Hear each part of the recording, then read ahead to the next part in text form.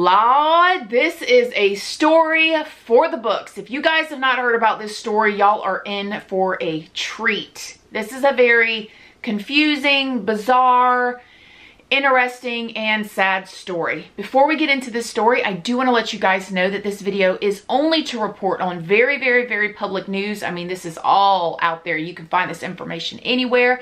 Please do not show hate to anybody, anywhere in your everyday life, in the grocery store, in your home, and especially in the comment section down below. Please do not show hate to anybody, anywhere.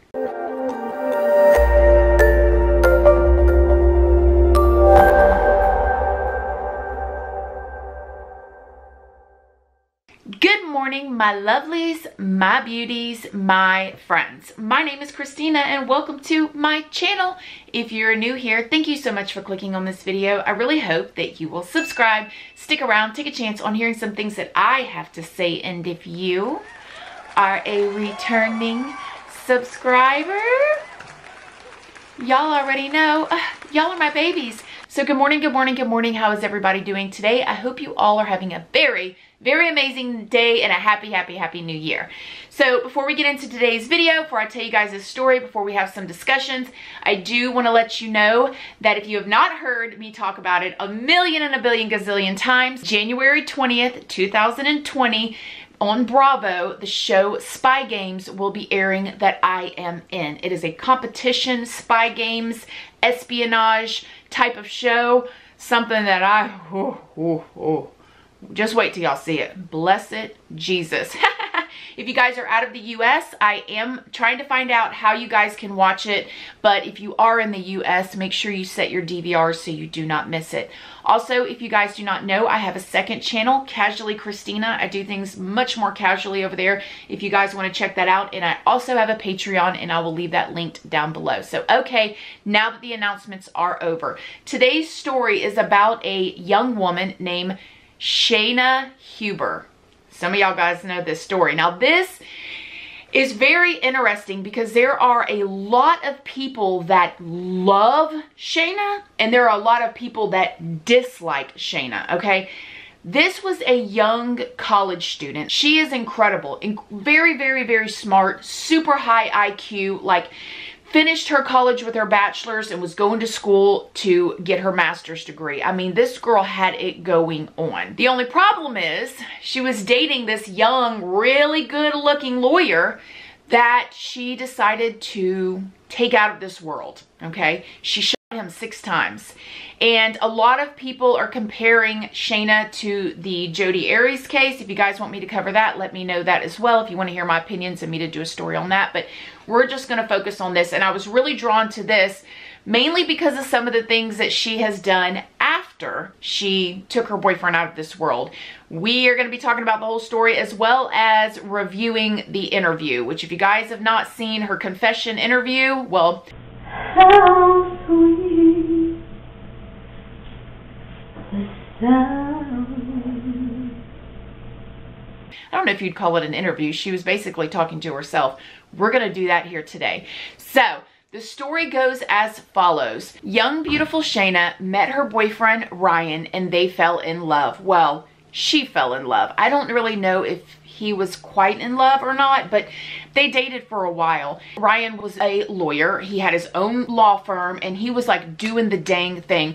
As a matter of fact, I saw somewhere where at one point in time he was triple enrolled. He was going for three different degrees at one time. Like you can only imagine how smart this man is. Anybody that's ever been to college, you know that even getting one degree is a lot of papers to write, studying and all of that. But to do three degrees at one time, that's quite impressive. So he had his own law firm, come from a really, really good family, had a really good upbringing, and was loved. He had a lot of people that supported him. He even had like a fan base. He had a great business and he had it going on. But with that, of course, comes a lot of beautiful women that wanted to be with Ryan as well. But when he got with Shayna, she fell head over heels in love with him. They were doing all kinds of stuff together. She would go to his house, she'd walk his dog, she'd clean his house. You know, they'd get into like shooting things. Like he was really big into like having his own thingies and, and going to the range and stuff like that. And they just had this relationship. Now, the thing about Shayna is she was a bit obsessive from what I could find. Like, to every one text message that Ryan would send Shayna, she would send him a hundred.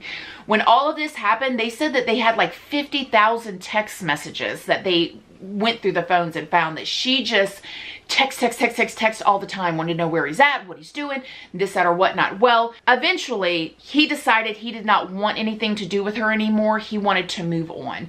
Well, she would beg him back. She'd go back to him. She'd cry. She'd put this guilt trip on him and he'd go back with her. And then this happened back and forth, which a lot of young relationships are like that. You guys know a lot of the times, not always, that when you're young and in love or young in a relationship, you'll get together, break up, get together, break up, get together, break up it happens, okay? That's not too much out of the ordinary. Now, I don't know about sending 100 text messages at a time. Now, I ain't never done that, but I'm not here to judge her text messaging skills. So this last time, she showed up at Ryan's house and he had a date to go out that night with this beautiful beauty queen that was Mrs. Ohio. So he was getting ready to go out with her that night and Shayna shows up at his house. Now, according to Shayna, she was afraid for her life that night and that he threw her against the couch and he was going for the weapon and she says she picked it up and she shot him. Now, before we go into any more of this, let's watch her interrogation video together, okay? So we're going to go over this, we're going to review it, and we're going to chit-chat about it. I just picked up the gun, and in the middle of him doing something with his arm or saying something crazy, shot him. And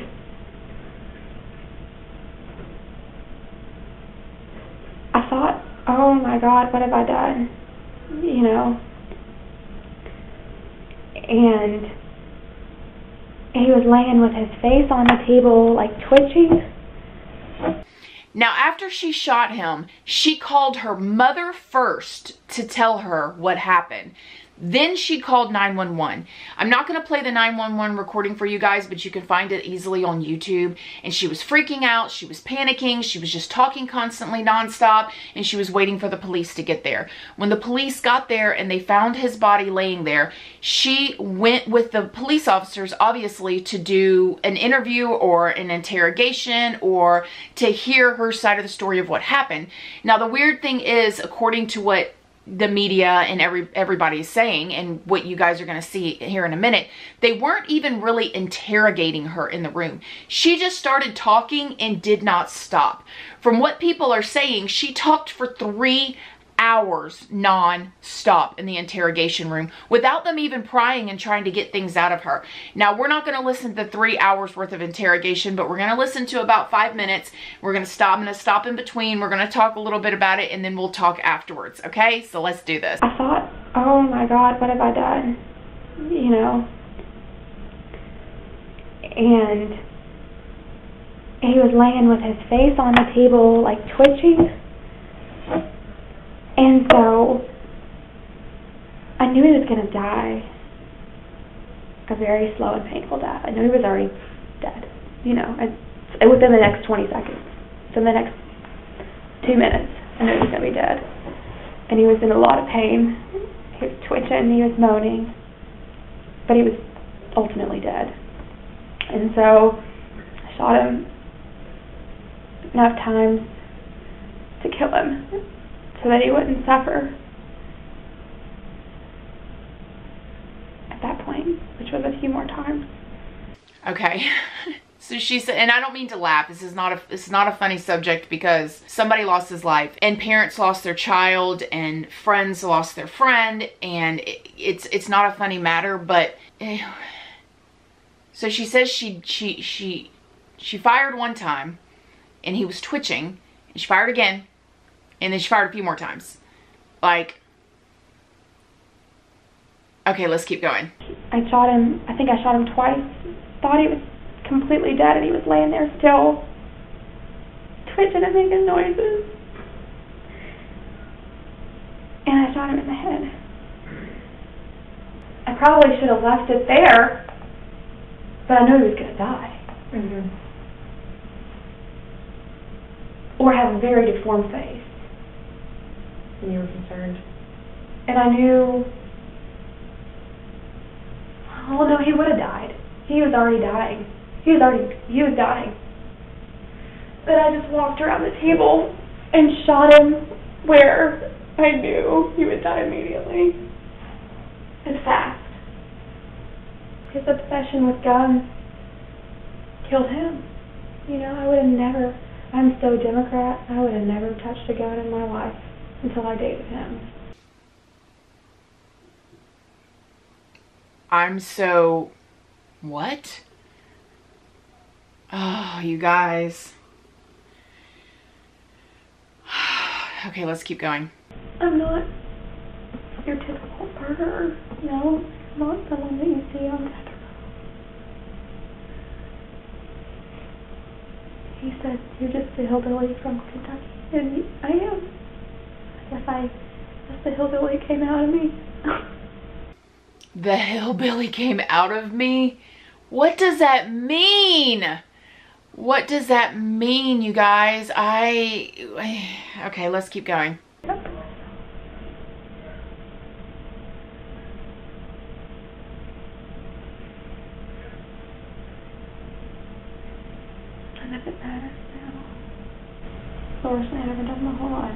Uh, yeah, I would I would have to agree with you there on that girlfriend. It's probably the worst thing that you've done. Um, okay, let's keep going. But I feel like sad that I like part of me doesn't feel bad about it. That part of me does. You know what I mean? Like, and part of me is like, he hit me. Threw me.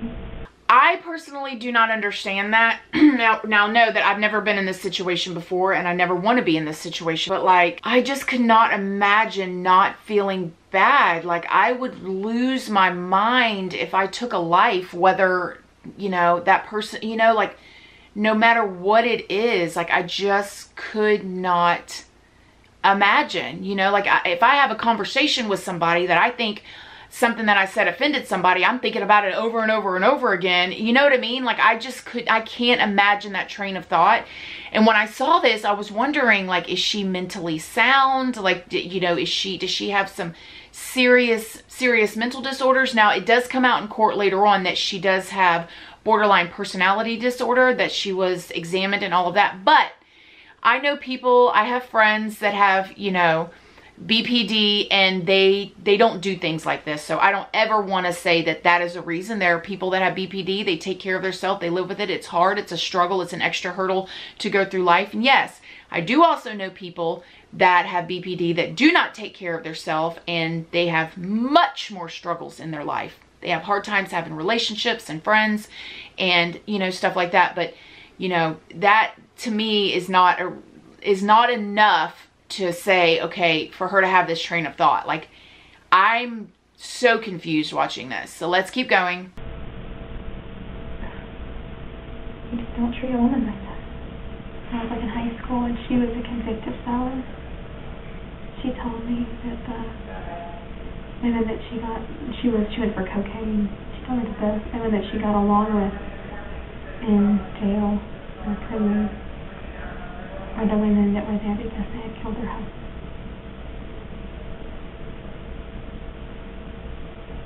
And said that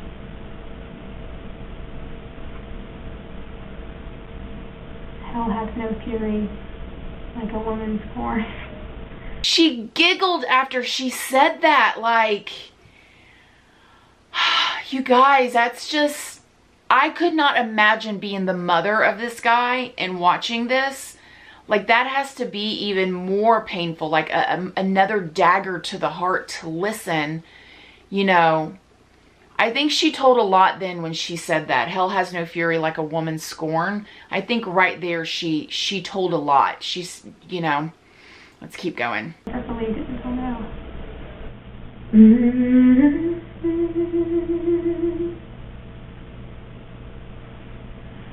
How sweet the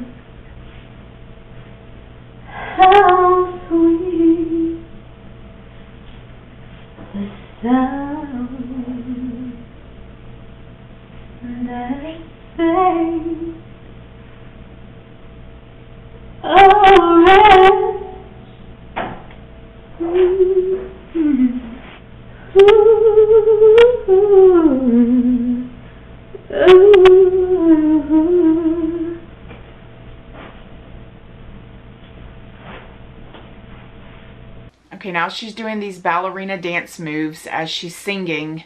Um, this is, it's a little bizarre, you guys. It's a little bizarre. Now, I saw in other interviews where she was in that same room the same day where she was telling the person that was sitting in there with her that he always wanted a nose job and that she gave him the nose job that he always wanted or something like that. But she also made a strange addition to what she described happened, referencing a nose job she said Poston wanted.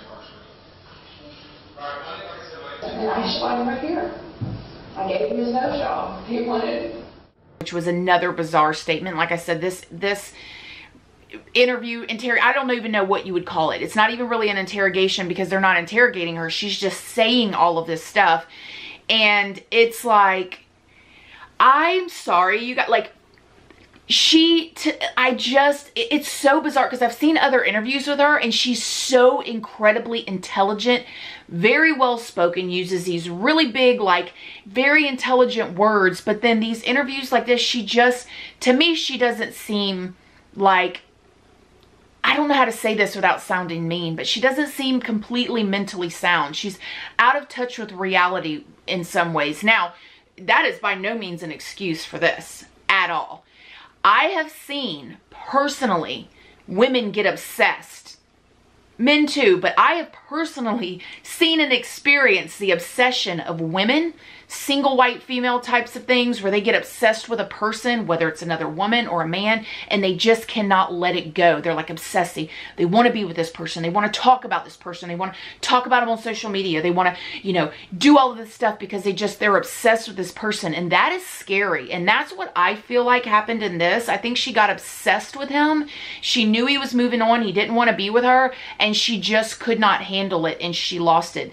Does that mean I think that this Ryan guy was a perfect perfect boyfriend or husband. No, I don't believe that and I don't know that. You know, I don't know him, but what I do believe is that he did not deserve to lose his life. Now, she ended up going to trial.